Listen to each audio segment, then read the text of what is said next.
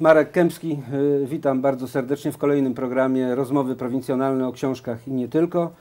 Dzisiaj y, nasz, naszymi gośćmi są y, pan Marek Magierowski. Dzień dobry. Witamy. I dr Tomasz Supik, Uniwersytet Śląski. Marek Magierowski, tygodnik do rzeczy powinienem dopowiedzieć. A powodem spotkania jest książka, która kilka tygodni temu ukazała się. Zmęczona rzecz o kryzysie w Europie Zachodniej. Panie redaktorze, zmęczona, czy to oznacza zmierzch Europy? Nie, ja mam nadzieję, że nie i też nie wieszczę zmierzchu Europy w tej książce. E, Raczej staram się zdiagnozować e, tę sytuację, w której Europa Zachodnia znajduje się dzisiaj. Europa ma ogromne problemy gospodarcze, ale też demograficzne. E, Zostaje nieco w tyle w postępie cywilizacyjnym za Stanami Zjednoczonymi, za krajami Dalekiego Wschodu. Więc ten kraj, ten kontynent e, zamożny i wciąż jeszcze konkurencyjny i wciąż jeszcze e, cieszący się e, bardzo sprawną m, gospodarką, no jednak jest w takim momencie, w którym musi wybrać sobie jakieś nowe cele, nowe wyzwania i musi nadgonić stracony czas. Jest, Europa jest zmęczona zmęczona kryzysem finansowym, ale też jest, jest, e, ma, ma ogromne problemy związane z kryzysem wartości, kryzysem moralnym, które często te, te problemy gospodarcze i te problemy związane z wartościami przenikają się i jedne wpływają na drugie. Em, Europa dzisiaj jest też e, podzielona, o czym piszę w tej książce, dlatego jest ona poświęcona Europie Zachodniej, ponieważ wciąż jeszcze No chciałem zapytać Wciąż właśnie. jeszcze jest, jest taki podział, e, przynajmniej mentalny, bo na pewno już nie geograficzny, ale mentalny na pewno między Europą Wschodnią i Europą e, Zachodnią. Co gorsza, na ten podział nałożył się w ostatnich latach e, inny, mianowicie podział między północą a południem. Północą Już nie zdrową, wschodem, zachodem. tak, zdro, zdrową gospodarczo, ze zdrowymi budżetami, z, z nieco rozsądniejszą polityką finansową i południem Europy, które jak, jak wiemy jest e, wstrząsane e, bardzo poważnymi kryzysami, e, południem, w który, które nie może sobie poradzić z zadłużeniem, z deficytami budżetowymi. Także Europa, jakbyśmy na nią nie spojrzeli, od której strony jest podzielona i nie, od tego nie uciekniemy. I myślę, że ten e, projekt europejski, e, wymarzony, o którym słyszymy od tylu lat, jest zagrożony właśnie z tego powodu, że ta Europa, wbrew pozorom, paradoksalnie jest coraz e, mniej zjednoczona. Proszę powiedzieć, z czym dzisiaj Europa ma największy kłopot? Może to nie jest jeden problem. E, Ja bym zwrócił uwagę na trzy problemy. Pierwszy bardzo, bardzo konkretny, mianowicie kryzys finansowy, finansowy który e, wynika z faktu, że mm, strefa wspólnego pieniądza wprowadzona ponad 10 lat temu była projektem stricte politycznym, a nie gospodarczym. E, Jako projekt polityczny się nie sprawdziła. E, Dzisiaj Unia Europejska musi wyjść z tej spirali e, zadłużenia, ze spirali kryzysu finansowego i za bardzo nie wiadomo, jak to zrobić. Myślę, że rozsądnym rozwiązaniem byłoby przynajmniej częściowy powrót do walut narodowych, ale wiadomo, że przynajmniej w przypadku niektórych krajów byłoby to bardzo bolesne Na przykład Niemcy. doświadczenie. Na przykład Niemcy, które, które y, gdyby powróciły do marki niemieckiej, to naturalnie straciłyby na tym gospodarczo, w, w, dlatego że marka na pewno byłaby silniejsza niż dotychczasowa wspólna waluta, czyli euro, a to wpłynęłoby bardzo negatywnie na niemiecki eksport. No, Oznaczałoby tak naprawdę katastrofę dla niemieckiej gospodarki. Drugi problem, bardzo istotny, to problem demograficzny. Europa wymiera. W większości krajów Unii Europejskiej z kilkoma chlubnymi wyjątkami, takimi jak Francja czy Szwecja, e, wskaźnik dzietności jest bardzo niski. Polska niestety jest e, w ogonie wręcz, nie tylko Europy, ale i świata. E, Włochy, inny kraj, katolicki przecież, e, ma równie złe wyniki. E, A to oznacza, skoro Europa wymiera, no to mm, musimy sobie postawić pytanie o przyszłość, nie tylko e, przyszłość gospodarczą, ale właśnie przyszłość kulturową Europy. Co, co, co oznacza fakt na przykład, że pojawia się w Europie coraz więcej meczetów, że w coraz większej liczbie miast e, ludność pochodzenia muzułmańskiego, czy ludność e, imigrancka e, sięga już 15-20%, a jest w niektórych e, miastach w Szwecji, we Francji.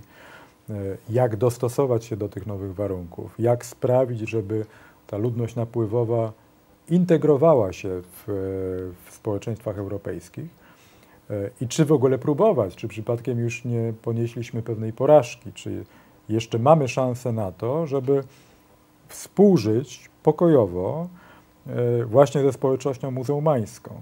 Czy jest szansa na to, żeby, te, żeby można było e, zorganizować sobie życie w, na przykład na obrzeżach wielkich francuskich miast, które są zdominowane właśnie przez ludność muzułmańską. I to jest kłopot poważny tam. To jest oczywiście, oczywiście e, poważny kłopot, wykorzystywany przez różne skrajne partie. E, we Francji mamy Front Narodowy, w Holandii mamy Partię Wolności Gerta Wildersa, o którym e, pisze dosyć szeroko w tej książce. Ta retoryka antyimigracyjna się nasila, co nie jest oczywiście dobrym zjawiskiem dla Europy i może przynieść naprawdę bardzo nieprzyjemne konsekwencje, ale niestety przez to, że przez kilkadziesiąt lat e, partie zarówno lewicy, jak i prawicy w Europie unikały tego tematu, e, no to dzisiaj trudno znaleźć jakieś, jakieś rozsądne, e, rozsądne rozwiązania. Wreszcie trzeci problem, na który chyba najmniej uwagi zwracają europejskie media, to problem technologiczny. Gdy spojrzymy na na rozwój technologiczny właśnie Europy, e, to zwrócimy uwagę, że wszystko to, co popycha naszą cywilizację do przodu, rodzi się albo w Stanach Zjednoczonych, albo w krajach dalekiej Azji. E, poza Europą. Poza Europą.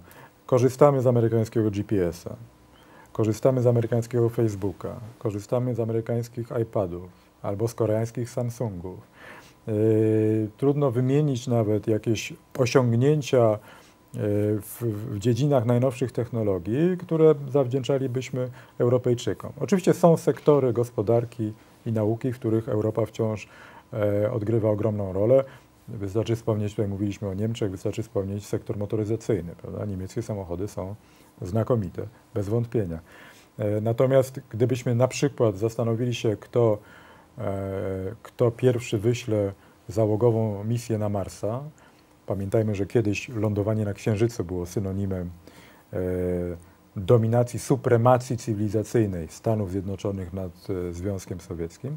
Tak dzisiaj, gdy wyobrażamy sobie, kto mógłby wysłać załogową misję na Marsa, kolejny jakby krok w postępie technologicznym, no to na pewno nie Unia Europejska. Albo Amerykanie, albo Chińczycy. Panie doktorze, czy Europa, może nie tylko Europa, ale o Europie dzisiaj rozmawiamy. Czy Europa ma kłopot z demokracją? Czy y, ma, ma. tu jest jakiś problem? Tak, ma kłopoty, ma kłopoty. Znaczy ma kłopoty z tym dzisiejszym modelem demokracji, demokracji liberalnej, dlatego że pierwszy problem jest taki, że te instytucje, o których my mówimy, tak naprawdę ich podstawy teoretyczne były ponad 200 lat temu, a, a w praktyce zaczęto rzeczywiście je stosować no, mniej więcej 200 lat temu wraz z rewolucją francuską czy z rewolucją przemysłową. Po drugie, jakby następuje coraz większy rozdział pomiędzy elitą polityczną a społeczeństwem, to znaczy idea reprezentacji, która tak dość dobrze oddawała, nazwijmy to, i nastrój, i klimat tamtych czasów i w jakim stopniu rzeczywiście elity polityczne identyfikowały się z ludźmi, ze społeczeństwem i reprezentowały je. Dzisiaj w dużej mierze jakby społeczeństwo odczuwa tutaj no, bardzo duży dyskomfort, dlatego że jakby widzą elity, jakby grają własną taką grę zamkniętą na, na, na argumenty jakby społeczeństwa i realizują pewne cele, z którymi społeczeństwo się absolutnie nie identyfikuje prawda? I stąd y, też jakby w konsekwencji mamy coraz niższą absencję wyborczą, chociaż w Europie e, tego zjawiska tak jeszcze nie obserwujemy, chociaż w Europie Środkowo-Wschodniej na pewno, w Stanach Zjednoczonych chociażby też, czyli w takiej kolebce tej, tej nowożytnej demokracji, więc, więc, więc to jest podstawowy problem. Na ten temat jakby dyskusja się toczy już bardzo długo. Była taka moda w latach 70., ona zawsze wraca jakby. To jest tak mniej więcej taka melodia, która jest jakby w Europie dość popularna od czasów Rousseau, to znaczy demokracji bezpośredniej, prawda? Czyli omijamy jakby tą ideę reprezentacji i staramy się bezpośrednio pytać społeczeństwo czy daną wspólnotę o stosunek do jakiejś danej konkretnej sprawy, ale, ale ta, ta, ta jakby renesans tej demokracji bezpośredniej też nie, niespecjalnie się powiódł. Niektórzy twierdzą, że wręcz był zabójczy. Taki przykład Kalifornii pokazuje, że zastosowanie na dużą skalę demokracji bezpośredniej doprowadziło do krachu gospodarczego, ponieważ y, referenda najczęściej prowadziły do zadłużenia budżetu stanowego i w efekcie ten stan właściwie znalazł się na granicy, na granicy bankructwa. A rozszerzenie tego eksperymentu jakby y, z tego modelu szwajcarskiego, który jest dość specyficznym modelem i który chyba którego nie da się przyczepić na inne, nazwijmy to, kraje, y, no, najzwyczajniej w świecie się, się nie powiodło. Druga taka takie panaceum jakby na tą naszą sytuację jest coś, co nazywa się demokracją deliberatywną. Ja tu widzę szansę jakby na mniejszą skalę, to znaczy e, na przykład w samorządzie można by to zastosować. To jest chociażby budżet partycypacyjny, to są chociażby tak zwane panele deliberatywne, gdzie zaprasza się jakąś określoną grupę ludzi, jakichś reprezentantów określonych, nie wiem, grup społecznych, czy ludzi zainteresowanych rozwiązaniem problemu i najzwyczajniej w świecie z nimi się dyskutuje bierze się pod uwagę to, co oni mają do powiedzenia, a potem jakiś dany problem właśnie realizuje się w oparciu o te, o te głosy. Natomiast w mniejszych wspólnotach, na mniejszą skalę, oczywiście te narzędzia w jakimś stopniu pomagają nazwijmy to, przybliżyć obywatelom władzę i przybliżyć y, ten proces decyzyjny do obywateli, ale w skali jakby państwa narodowego nie znaleźliśmy takiego panacą. Stąd jakby no niestety coraz większe, y, nazwijmy to, oddalenie polityków czy społeczeństwa od polityków, coraz większa niechęć do polityki, coraz niższe zainteresowanie polityką, a, a z drugiej strony w to miejsce, to co wspomniał pan redaktor, wchodzą partie radykalne, które nazwijmy tą sytuację dotyczącą i trudnej sytuacji gospodarczej, i trudnej sytuacji demograficznej,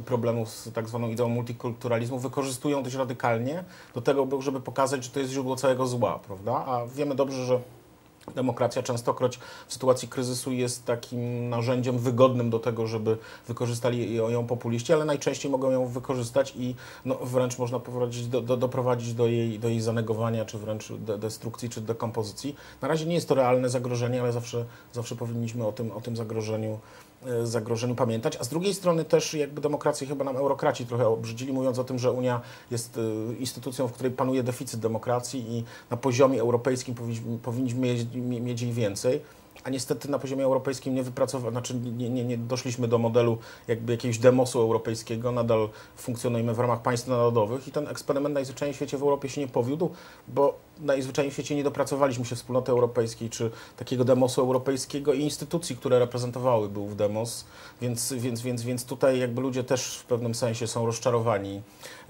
tym, tym, tym, tym, tym, tym, tym, tym projektem, który właściwie nigdy nie został zrealizowany, on raczej istniał w głowach kilku takich właśnie federalistów, czy zwolenników właśnie tej mniej więcej, te, te, tego konceptu politycznego, stąd z, tą, z tym kryzysem demokracji mamy do czynienia. No i wreszcie jakby y, też ostatni argument, to znaczy nadzieja, która wiązała się z demokracją i przywiązanie do idei demokracji bardzo mocno jakby zostało, czy zostało bardzo mocno, czy zostało wzmocnione po upadku Związku Sowieckiego, obozu socjalistycznego, kiedy to część krajów Europy Środkowej, wcześniej Europy Południowej, czy, czy później Ameryki Łacińskiej jakby przyjęło ten model demokracji liberalnej i jakby wielu ludzi na Zachodzie liczyło na to, że w pewnym sensie może w tej części świata i entuzjazm i pewne nowe rozwiązania jakby jakby ożywią, można powiedzieć, tego ducha demokracji. To też niestety się nie udało, bo ta praktyka jakby w tych państwach Europy Środkowo-Wschodniej, no ona była zapożyczona jakby z Zachodu, no i my tam niespecjalnie nowych y, treści do, tej, do, tych, do tych formuł wnieśliśmy. Właściwie, można powiedzieć, zaaplikowaliśmy już gotowe rozwiązania. Czyli Europejczycy,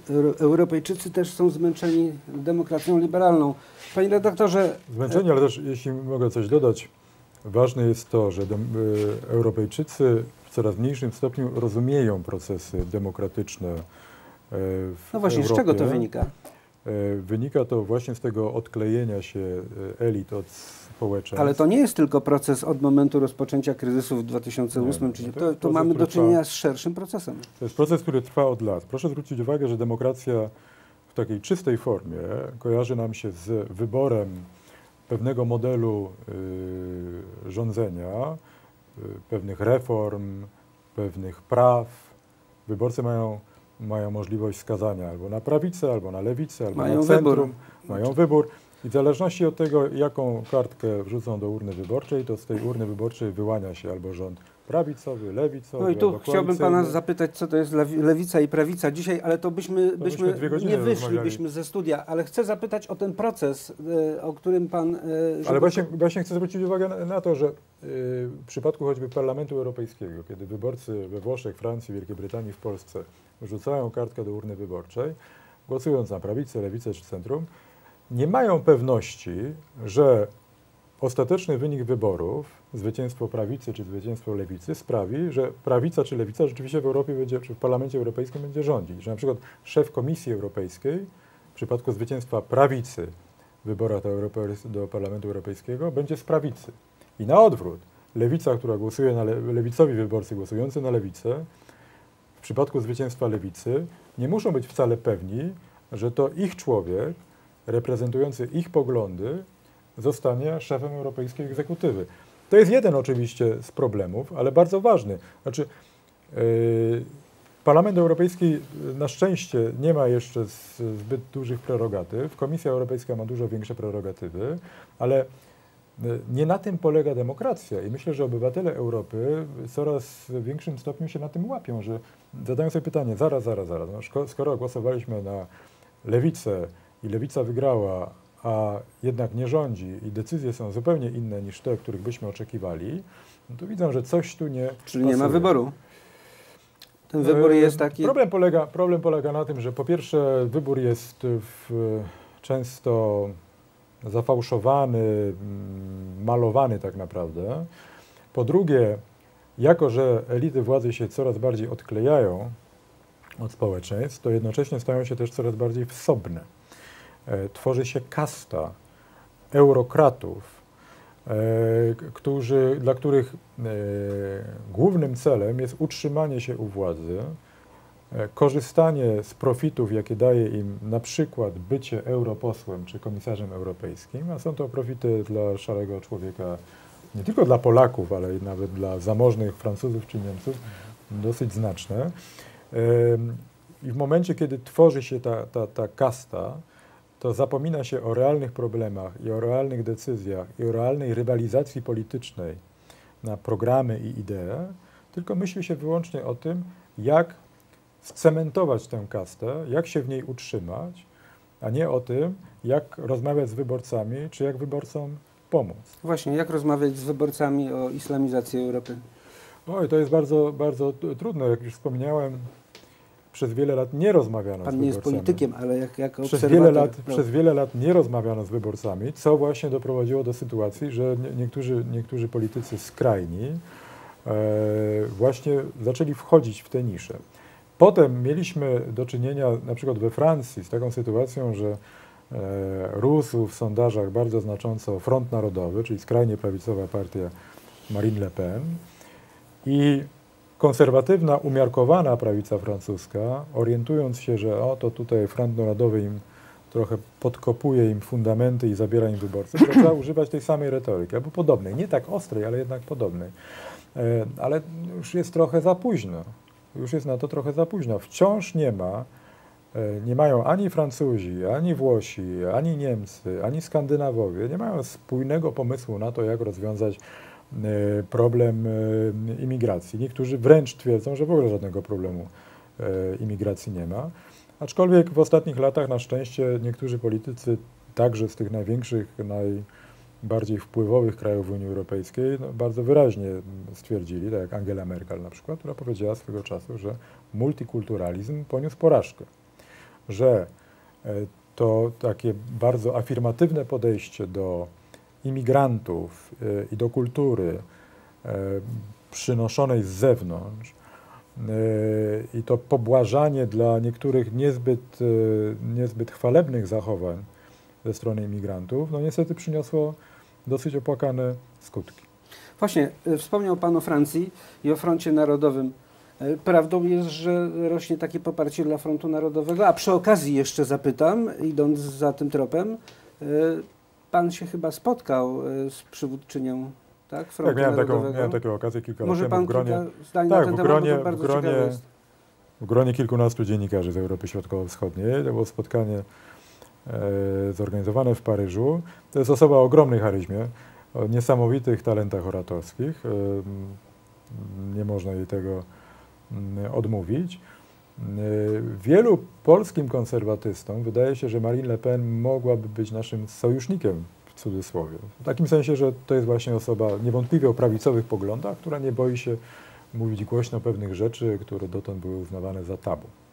Problem w tym, że podczas tego spotkania rzeczywiście mówiła bardzo pięknie i, i ekspresywnie, natomiast opowiadała kompletne bzdury. Między innymi sugerowała, czy postulowała wręcz, że Francja powinna opuścić NATO i że Francja powinna się związać e, nieco ściślej z Rosją, bo to Rosja powinna być głównym sojusznikiem, partnerem dla Francji. Mówiła oczywiście to, co mówi, od dawna, mianowicie, że należy ograniczyć Unię Europejską e, E, współpracę gospodarczą w Unii Europejskiej, bo nie może być tak, że że, że w Unii Europejskiej mamy swobodny prze- przepływ towarów i usług, ale oczywiście chciałaby też zamknąć swobodny przepływ ludzi, co oznaczałoby, że, że polscy pracownicy na przykład nie mogliby jeździć do Francji i tam pracować, co mogą czynić dzisiaj, więc patrząc z punktu widzenia naszych interesów, no Ma- Marine Le Pen jest absolutnie naszym sojusznikiem. Ale wracając do tych rosnących sondaży, rzeczywiście w jednym z ostatnich sondaży e, ta partia, e, partia była, n- osiągnęła najlepszy wynik w sondażu przed wyborami do Parlamentu Europejskiego. Niewykluczone, że Marine Le Pen te wybory wygra. Właśnie dlatego, że, e, że e, mają dość pewnie takiej zwomy- zmowy milczenia wokół, wokół e, polityki i Braku dyskusji. Braku Ten- ten- dyskusji, tak. Ale też na to się nałoży, się nałożył skupia. oczywiście kryzys gospodarczy i, i Marine Le Pen, która jest bardzo ostrym, radykalnym krytykiem strefy euro, także ten kryzys wykorzystuje. Proszę zwrócić uwagę, że, że jedną z grup wyborczych, które, w, które popierają w większości Front Narodowy i Marine Le Pen, to są robotnicy we Francji. Także grupa, m, elektorat, który teoretycznie powinien głosować na lewicę bardziej niż na skrajną Związki prawicę, zawodowe prawda? jakieś też? Jakaś Związki zawodowe, nie, nie, związki zawo- zawodowe to jest bardzo jakby, CZT i to wszystko związki zawodowe są jakby nie, niejako osobną siłą polityczną w ogóle we, we, we Francji, więc trudno, trudno tutaj oczekiwać od nich, żeby popierały Marine Le Pen. Natomiast No tak. rzeczywiście ten obraz sceny politycznej we Francji jest, jest e, trochę bardziej skomplikowany, ale jedno jest pewne, i we Francji, i w innych krajach, w Holandii między innymi, rosną w siłę rzeczywiście ugrupowania, które, które operują retoryką mocno antyimigrancką, głównie skierowaną przeciwko muzułmanom, ale niestety to się też, to się też odbija rykoszetem na nas. Panie doktorze, czy brak tej debaty, o której rozmawiamy, dyskusji e, politycznej tak otwartej, może wpłynąć na wzrost prawicy, skrajnej prawicy, czy tej nacjonalistycznej prawicy w Europie? No, W poszczególnych Na krajach? pewno, na pewno. Zresztą to też obserwujemy, tu można jeszcze podać przykład Austriackiej Partii Wolności, można podać przykłady tych partii w Danii, chociażby, które też, czy partii w Danii, która jest bardzo, bardzo radykalna, a, a, a takim dobrym środowiskiem czy podglebiem, na którym te partie, nazwijmy się, świetnie rozwijają, właśnie jest kryzys gospodarczy, więc mamy do czynienia z kilkoma rzeczywiście zjawiskami, czyli, czyli deficyt demokracji, brak debaty, często źle rozumiana poprawność polityczna, kryzys gospodarczy, coraz bardziej degradująca się klasa średnia, czy, czy, czy nawet klasy, klasy te niższe, które są niezadowolone z obecnej sytuacji, one jakby są naturalnie, można powiedzieć, zwolennikami takiego łatwego, czarno-białego rozwiązania, które częstokroć oferują właśnie te partie radykalne, czy, czy, czy partie populistyczne I, i, i rzeczywiście mamy do czynienia z, ze wzrostem poparcia i sympatii do tego typu partii. No i z coraz ostrzejszą retoryką ze strony właśnie liderów, którzy widzą, że to znakomicie trafia, czy, czy trafia na podatny grunt i tak jak mówię, to poparcie tych partii rośnie, chociażby wspomniany Front Narodowy, wspomniana e, partia Gerda, mm, Gerda Wildersa.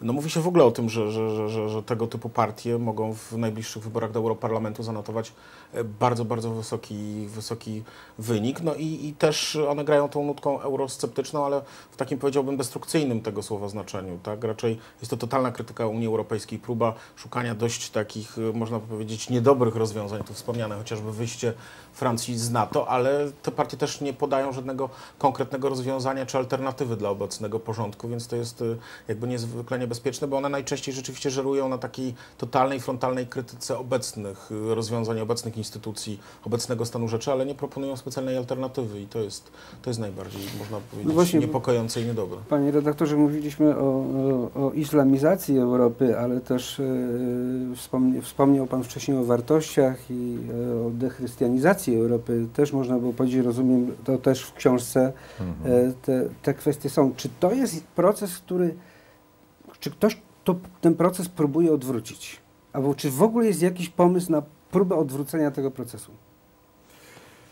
Ja mm, e, używam takiej metafory dość kontrowersyjnej, wydaje mi się, jak na konserwatystę, ale mm, przypominam zawsze, co się działo w wieku XVI, kiedy Hiszpania kolonizowała Amerykę Łacińską. Wysyłała tam swoich konkwistadorów w celach stricte gospodarczych oczywiście. Potem galeony wypełnione złotem płynęły do portów w Kadyksie i w Barcelonie. E, I Hiszpanie mogliby na tym poprzestać. Mogliby stworzyć swoje garnizony, kolonie, okupować te kraje, Natomiast Hiszpanie na tym nie poprzestali, ponieważ zaczęli Indian nawracać.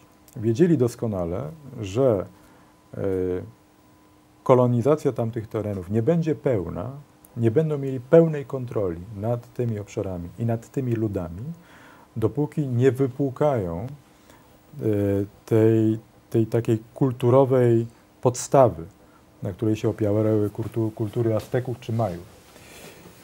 Dzisiaj, kiedy patrzymy na Europę, to ja mam takie wrażenie, że, że dochodzi do bardzo podobnego procesu. Liberałowie, lewica, federaliści marzący o federalnej Europie, wspólnej, mm, e, wiedzą doskonale, że nie wystarczą fundusze europejskie, że nie wystarczą nowe inwestycje, nie wystarczy mm, wymakiwanie niebieską flagą z dwunastoma gwiazdkami, że to, co przeszkadza w zbudowaniu e, nowej kultury europejskiej, nowej cywilizacji, to jest na przykład fakt, że w każdym kraju europejskim znajdziemy katedry, że 90% sztuki malarskiej w Europie to jest sztuka sakralna, że 90% wielkich dzieł muzyki poważnej to są dzieła, które mają swoje korzenie w Starym i Nowym Testamencie.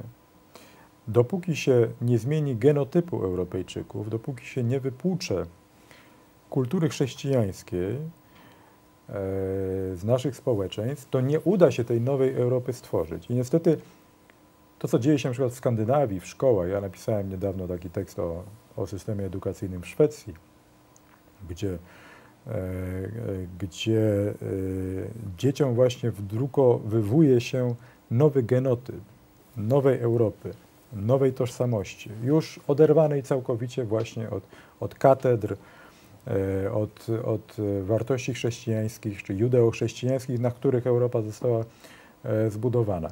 I to jest bardzo niebezpieczny proces, e, który nie wiem, czy, czy da się go powstrzymać, natomiast na pewno musimy sobie zdać sprawę z konsekwencji tego, co się dzisiaj dzieje w Europie i z tego, że